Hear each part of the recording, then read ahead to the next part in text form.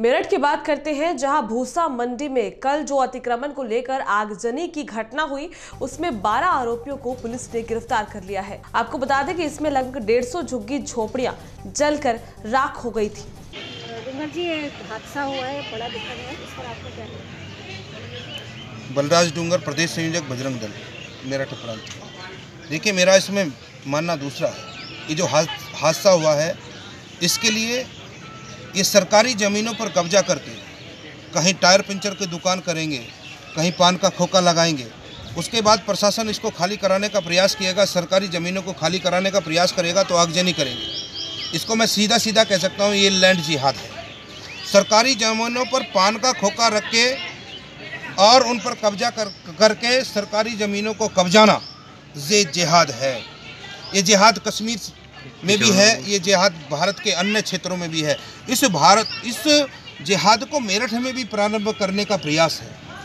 इसको क्या कहें? सरकारी ज़मीन है प्रशासन उसको खाली करानेंगे तो विरोध करेंगे आगजनी करेंगे प्रशासन उसको और अतिक्रमण के नाम पर हटाने का प्रयास करेंगे तो आने वाले रास्तों में हिंदुओं की गाड़ियों पर पथराव करेंगे सरकारी गाड़ियों को तोड़ेंगे ये तांडव नहीं है तो क्या है?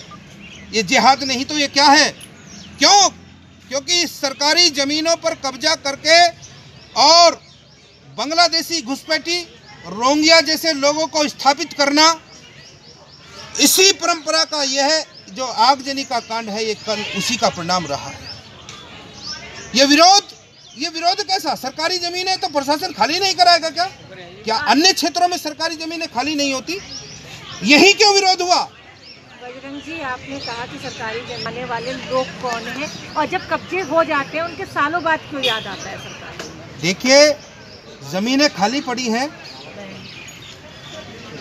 ज़मीन पर कब्जा करने वाले हाईवे पर आप देखिए कितने लोग हैं जो टायर पंचर की दुकान करते हैं। और माने अतिक्रमण हो गया, अतिक्रमण का एक वर्ष बाद अगर उसको प्रशासन खाली करा रहा है तो विरोध क्यों? वह ज़मीन तो उनके बाप की नहीं है। वह ज़मीन तो सरकारी है ना? वह सरकारी संपत्ति है ना? कल को तो वो कलेक्ट्रेट में और कचहरी में भी कब्जा करेंगे। कल को तो जिलाधिकारी की कोठी में भी कब्जा करेंगे। कप्तान की कोठी में भी कब्जा करेंगे। प्रशासन विरोध करेगा तो फिर आगजनी करेंगे। ये कैसा तांडव है? ये तांडव तो और मुझे लगता है कि कश्मीर जैसा तांडव मेरठ में करना चाहते हैं। ठीक है।